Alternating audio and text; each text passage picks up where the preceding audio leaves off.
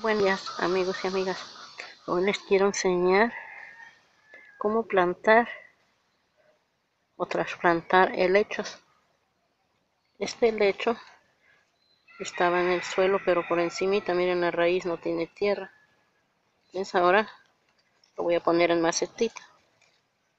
La macetita ya tiene un sustrato con arena y tierra está muy revuelto todo como es tiempo de lluvia, no lo quiero dejar con pura tierra o sustrato porque se me puede podrir. Por eso está revuelto con arena.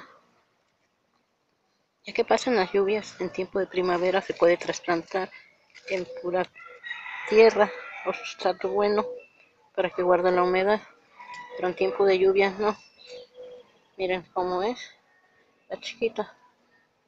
Ahorita vamos a darle más tierrita o sustrato revuelta con arena para tapar la raíz. Nomás se tape la raíz y ya va a estar listo para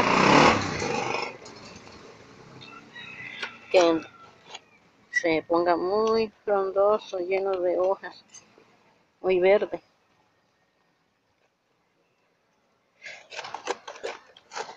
Miren, así es como se planta. Nomás se le aprieta un poquito